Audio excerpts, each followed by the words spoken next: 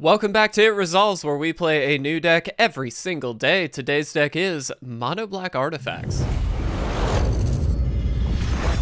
What is going on everybody and welcome back to another standard gameplay video. I hope everybody is doing exceptionally well. I hope your week is starting off well. We're kicking things off with kind of a, a, crazy one here. This is Mono Black Artifacts. I will go ahead and say, while I did make just a very small, minute change to the deck, the base of the list, and truthfully, like 99% of the list is based on Swayze's list, uh, which he did post over on AetherHub. I will link him down below because, again, uh, he created the majority of this. I, I don't want to take any credit for that, but uh, I did make one small change. He initially had two Lithoform engines in the deck, which I'll talk about why, uh, but I actually swapped those out for Bloodchief's Thirst. Uh, and again, I'll talk about why that is as well. But uh, essentially, what this deck is looking to do uh, is garnish a lot of extra kind of life gain, card draw, all kinds of important stuff based on the fact that we're playing a lot of colorless things. Uh, so in the early turns of the game, what that means for us is we can hopefully drop something like a Patchwork Automaton. This is going to hopefully garnish a lot more 1-1 counters and be a little bit trickier to deal with for point and shoot removal uh, on the opponent's end. So as we're going through the game and as we're casting a lot more artifacts, this is going to get a lot bigger. This is, you know, just a long-term threat for the game. Reckoner Bankbuster obviously throws a counter on the, the automaton, but it also allows us to draw extra cards. Uh, it does provide us with a creature as well, so obviously, you know, if we crew it for three, we can get in there for some damage, which is great. Uh, we've got a nice little circuit mender here. Uh, full four of these. Three mana for a 2-3. When it enters the battlefield, you gain two life. Phenomenal. When it leaves the battlefield, you draw a card, so it replaces itself a lot of the time.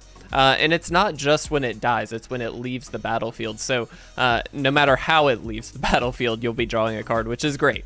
Uh, uh, the four drop slot is really where things get kind of spicy. So first and foremost, we do have the Cosmos Elixir as a three of here. Uh, this is gonna, again, just provide us with some long-term either life gain or card draw, depending on the scenario. Uh, it does buffer our life total, which is very important for this deck because the early turns of the game aren't necessarily explosive. Uh, and so we really do need to garnish some of that life back if we can. Uh, I've found that in the best of one meta, sometimes this can be a little too slow. Uh, but that being said, in the grindier games, this really does work. So I think there are definitely some, some times where it makes more sense than others. But we also have Myriad Construct, uh, and this is an interesting one. So for 4 mana, you get a 4-4, essentially. Uh, you can kicker it for three, uh, and so in total you'd be paying seven, but when it enters the battlefield, it gets a 1-1 counter on it for each non-basic land your opponents control. What's nice about this is because we are in the Streets of New Capenna standard environment, a lot of the decks are at minimum two color, uh, if not three. Uh, and so we're finding ourselves uh, up against a lot of non-basic lands, even if they are just dual lands, pathways, you know, whatever it might be.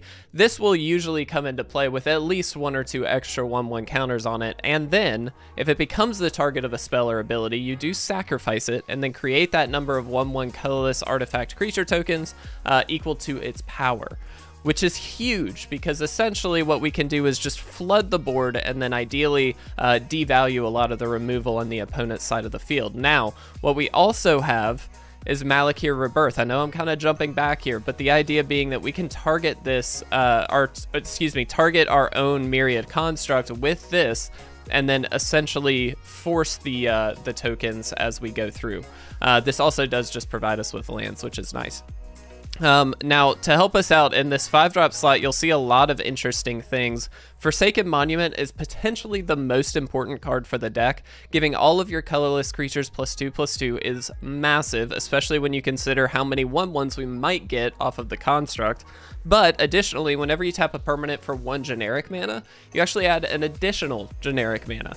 And you'll notice in the land slot, we've got Roadside Reliquary, Field of Ruin, and Crawling Barrens all tapping to generate a generic mana. This doubles all that. Uh, which is huge. And then whenever you cast a colorless spell, of course, you gain two life. So again, buffering that life total as we go through. Uh, Wandering Archaic, kind of an interesting one. You can play this on three for Explore the Vastlands just to give yourself that extra land drop. We really don't have too many instants and sorceries, but uh, on the off chance we hit like a Bloodchief's Thirst or something like that, it wouldn't be bad. Uh, but the idea being that this also gains you three life. More importantly, though, on the Wandering Archaic side, you start to copy instants and sorceries that your opponents cast. So if they kill one of your creatures, which this will probably eat a removal spell pretty quickly, you probably are going to get to get uh, uh, uh, kill one of theirs as well. So it's kind of a nice little um, card for this deck. It's an interesting one, one that we really don't see in standard as often, uh, but I really like it. Um, we do have Tergrid and Invoke Despair as well. A lot of times Tergrid will come out on the Lantern side just as an alternate win condition. It's an artifact. We want to tap it, get some stuff out of the opponent's hand, or just force the life loss. So very interesting stuff here. Oh, we can also untap this a lot, excuse me, because we double our mana. Um, yeah, just a lot of interesting stuff in this list. It really caught my eye. Swayze, thank you so much for sharing this one, my friend. Uh, Swayze, I know you're you watch occasionally, so I really do appreciate you being uh, such a strong supporter of the channel. Got to get you in that guest slot, man. Uh, but let's uh, let's jump in. Let's see how this one goes. This is gonna be an interesting one. We might lose a lot because I've got a lot of learning to do with this deck, but it's gonna be a fun one. So let's see what we can do. All right, guys, and here we are for game number one. This is actually a great hand. Uh, so we will go ahead and keep this. Um, kind of curious to see how this ends up going, but I do really like this hand. We have to make a decision on the rebirth, uh, and truthfully, right now is kind of the time to make it. We do have Invoke Despair that we're going to want to cast. I think we go ahead and throw this out there. Uh, the reason this makes sense now uh, is because it's turn one, we've got nothing to play, uh, and I'd like to be able to cast uh, the Patchwork Automaton on turn two, and then have a turn three play, which in this case is now Explore the Vastlands. So this actually is quite nice. Okay, uh, we can just kill that. Uh, the question is, do we need to? Um, they can just blitz it, but they're pretty far away from that. I think I am going to be a bit aggressive here. Uh, we've got the fourth land as well, which is really helpful because even if they deal with the automaton, we can get the construct down, and now all of a sudden we've got a lot more going on. One more land, and we've actually got Wandering Archaic as well, uh, which is quite good. There is Kaito. Uh, would love to get Invoke Despair mana, not this turn obviously, because it really doesn't help us that much, but in general, that would be helpful. Uh, let's go ahead and cast the Myriad Construct. This is going to throw a 1-1 uh, counter on the Automaton, so we can get in for the attack as well. Um, and now, we're basically just hoping they can't deal with too much on our side. If we can get these things uh, just attacking in a lot more, we should be okay. It does look like Esper Control is obviously the, the deck from the opponent, um, which is a little scary. Eye twitch. Okay. Um, interesting. So, there's the Crawling Barrens. Uh, that's interesting. Um, alright. So, how do we want to do this? We can kill Kaito regardless of what happens. Um, we can also just attack in with the Crawling Barrens. Uh, I think I'm think I'm kind of in for this. This may be incorrect. I really don't know, but we're to try. Um, my thing is both of these can attack the Kaito to kill, and then this can come in here. Now, they do have one mana available, so they could just have like a Fading Hope, uh, which would be really frustrating, but it's not the end of the world. Um, okay, March of Otherworldly Light. That certainly hits uh, in a bad, bad way because it is a land drop, but uh, we'll see what happens here.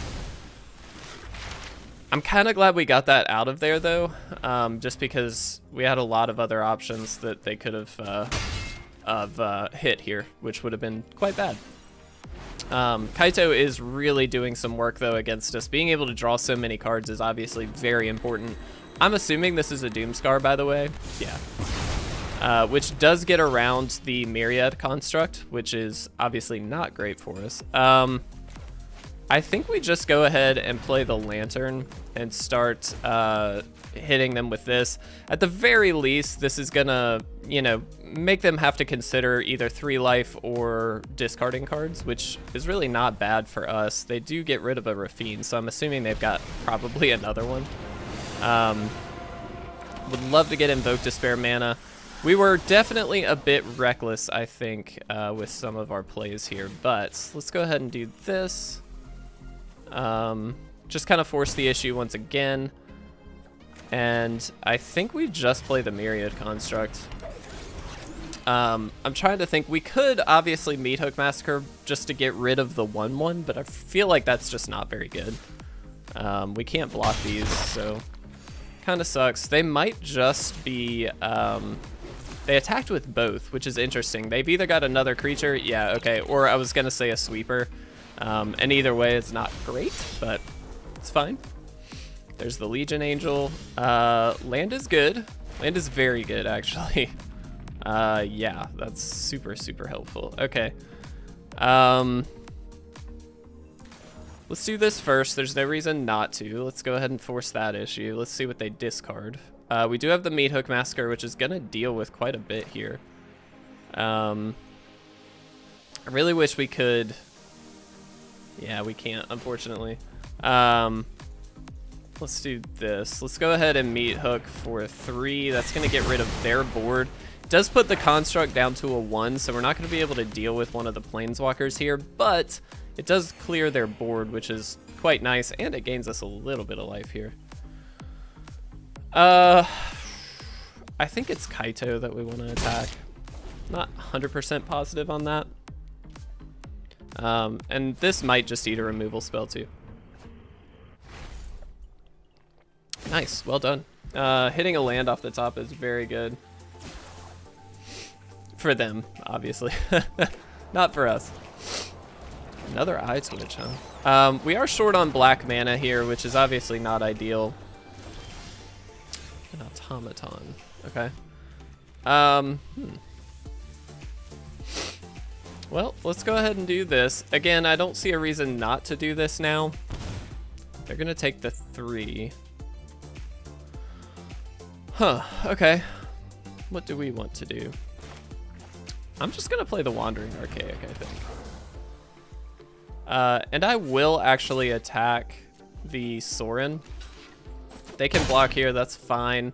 Uh, the reason I'm okay with that is because the reality is the flyer is more important to them than we are 4-4 on the ground is.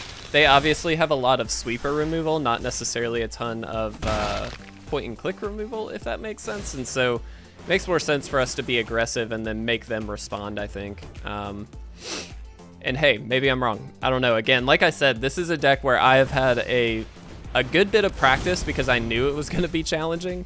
Uh, I didn't realize how challenging. It's a very tricky deck to play. Uh, which is fine. It's just uh, a lot of a lot of learning, we'll say. Um, let's go ahead and untap. Let's go ahead and do this again. Um, I highly doubt they're gonna just take three here. I expect they'll discard. Yeah, okay. Uh, so if we attack, what can happen? Not a ton. Well, I mean, they could have probably quite a bit, but we're just going to go for it here. And they let Kaito go down.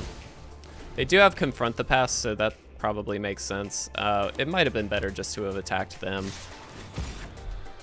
Yep. They're going to gain quite a bit of life back, I assume, uh, with a vampire here. Uh, I kind of wish we had played Tergrid on the other side, not really thinking about the uh, connive triggers here. We would have been able to steal quite a bit, um, but it's all good. They gain nine. Very good. And now they can probably freely draw whatever's on the top of their deck. In this case, it's just a uh, Tenacious Underdog. So there's the Legion Angel, sure. There's the Kaito. Very nice. Uh, yeah. All right. Not a lot we can do about that. Um, let's go ahead and do this. The trick is, again, they have so many flyers that it's going to be pretty difficult for us to really deal with anything here. Um, so what can we do? Not a lot again, I feel like the only thing we can do is go for the uh, the discard plays here. We're going to be taking quite a bit of damage. Um, there's not a lot we can do about it. Do we attack in? Um, honestly, I think we do. The, the reason being here, again, this gets something off of the field um, that is going to be dealing a lot more damage to us. And so while no, this isn't great, it's about the only option we have. So I am going to go ahead and take it. Um, they connive twice. Terrible, we're all going to die.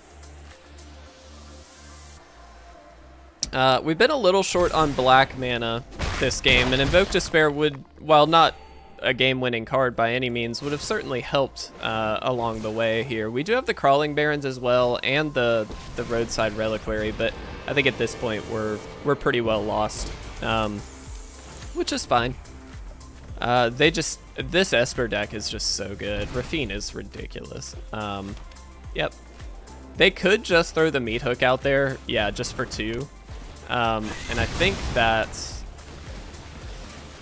it doesn't win them the game because we have our own meat hook, but excuse me, it does kind of even things out so we can't just win with a meat hook. And yeah, that. What? What? What? How? Um. Okay, we won. what happened? What was that? They had the game. I was about to concede. Like, literally, I was about to good game them because I... All right, game two. What's up, guys? Before we jump into the next game, I just want to remind you, if you would like to pick up this month's Patreon rewards, feel free to do so at patreon.com slash itresolves. All right, guys, here we are for game two. I have no clue what happened in that first game, but I will happily take it. Um, this isn't necessarily a great hand, but we do have a little Circuit Mender here, and I'm kind of cool with uh, running that. We do have the Forsaken Monument, which again is such a crucial card for this deck, so kind of just hoping we draw a couple more lands so we can get that going. Um, if we do, we're in pretty relatively good shape. Um, the Circuit Mender is quite nice here because, again, it will draw us a card if they kill it for whatever reason. They also are a World Tree deck, which means the Myriad Construct kicked could be pretty useful. uh, this might be an interesting one. Yeah, it looks like they're going to have basically no basic lands, so I'll take that. Um, sick. That's not bad at all, actually. Um, I think we just play the, the Elixir here. Um, this is going to allow us to draw a card, which is great. Um, and now, you know, obviously this basically gets a free attack in here, but uh, the idea being that if we can get some of these engine pieces going, like if we draw another untapped land, we can Forsaken Monument. Uh, we do have Wandering Archaics, so we could go that route. But I think we're in the game the the game plan of Forsaken Monument into the Construct, which I think is just going to be better. Um, yeah, there we go. All right. Uh, I will happily attack in here. Um, definitely didn't think they would block. There was really no reason for them to. The nice thing about the Elixir is it does kind of stave off the, the damage that we're taking from the Vampire. They are obviously going to be a token deck, which is not good. Um, and they're going to draw some cards here, which is also not good. But we'll see what we can do. Um, another monument. So let's see, one, two, three, four, five, six, seven, eight, uh, which is not really enough to do much more, so we'll just have to do this, and I think we'll just pass here. They obviously have a lot of power with the double striking uh, mechanic, and this is definitely going to be something that they are not super stoked about. Uh, if they, I doubt this is a sweeper deck. Uh, in the Myriad Construct, while it doesn't solve our problem 100%, it does mean if they try and kill it, we get a ton of 1-1s, in this case 11. Um, yep. Uh, which, because of the Forsaken Monument, are 3-3s. uh, which is pretty good, as it turns out. Um, let's go Automaton first. Let's go... Oh. We're amazing. We're the best players in the world, obviously we're we're incredible. Uh, we do have time for a game three, guys. Let's jump into it. All right, guys, here we are for our last game. Definitely gonna have to be our last game. We don't have any black mana, but we do have a couple of really good two two drops here that we can play. Uh, the Meathook Massacre is a little awkward, um, just because we don't have black mana, but we do have the Field of Ruins, so worst case scenario, we might be able to kill one of their lands just to grab an extra. Um, oh. What is with everybody giving up today? All right, that was not our last game. One more. All right, for real, last game. uh, do we keep this? Yeah, I think we do. We've got the Circuit Mender. If we get one more land, we've got the Elixir, and then, of course, Monument and Invoke. So our mid to late game is really, really good. Uh, we can play this for the land because, again, we do need to get to four black mana, so that seems pretty important for us. Um, also, we're against Urine. I, that might not be how that's pronounced, but I like that. Um, I like that a lot. Uh, let's let's throw this out. This is gonna be a rough matchup for us, guys. Not gonna lie. Um, not a ton we're gonna be able to do about this. We just have to force our way through. We probably lose, um, but you know what? It's cool. We've had a weirdly good run so far, so not really sure what's going on there. All right, uh, Thirst would not go amiss right now. Um, I think we'll just play the Field of Ruin. It really doesn't matter at this point. They're all untapped lands. Um, we do get the Circuit Mender down, and we can block. I My biggest thing is if they have the Rune of Might, uh, or the white one. I never remember what it's called. Oh, perfect. all right, sick. Um, yeah, we're gonna have a hard time here. That's the one. The sustenance one. Way to be there. Um, another circuit mender. Okay, well, we're just gonna play one. Gain a couple life. Go us. We're amazing. Um, yeah, the Cosmos Elixir probably gonna be a bit slow here, so I think we're gonna have to go for the constructs. Okay, cool. So now they can just play runes for free. Which is just so good. Right? Just amazing. Um, yeah, we're we're not going to last very long against this opponent, uh, which is totally fine. Makes sense. I get you. You did it. Please don't have another rune. If they do have another rune, they'll play it. That's kind of the good news. Um, okay, well, I said good news. I meant it's terrible for us, but it's good that we know they're just going to play the runes out. You know what I mean? Does that make sense to everybody? Probably not. Uh, we definitely just block something also. Oh my goodness. Can they just win this turn? Like, I think they can. this is terrible. Yeah. Uh, we definitely just block. This has trample, so it doesn't matter if we block it. Let's let's draw something really good. That is not it. Um, yeah, yeah, I'm just gonna good game them. We're super dead. Uh, let's talk about this. All right, this has been like one of the weirdest videos I think I've ever recorded. So many people giving up before, I, I mean, especially that first one, they had won the game. I don't, know what that was. Uh, but let's talk about the decks. Swayze, thank you so much again, my friend. I uh, really do appreciate your deck building style. I think this was a really fun experiment to try and create something that's very artifact based and what truthfully is not a super strong artifact uh, environment right now, or colorless environment, I should say. Uh, we do have some very powerful cards. It's just that the the deck construction aspect uh, seemed to be a challenge when I was trying this uh, months ago, not months ago, a month ago, uh, and I don't think Streets gave it a whole lot. So, uh, in my opinion, the deck is really fun. Um, I think it's not very good on the ladder. Despite getting three wins here, uh, technically that that third one was not really a win, and the first one really wasn't a win. So, um, I I would suggest uh, that if you're gonna run a deck like this, expect that you're just trying to do something cool and not that it's gonna win a lot.